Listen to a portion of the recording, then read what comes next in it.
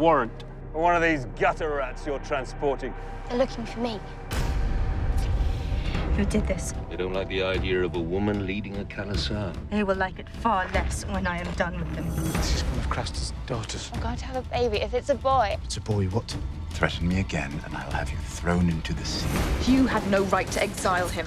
I'm Queen Regent. I have seen the path to victory in the flames. I will lead the attack myself. Oh, you will. I'm your son. Who else? Thank you.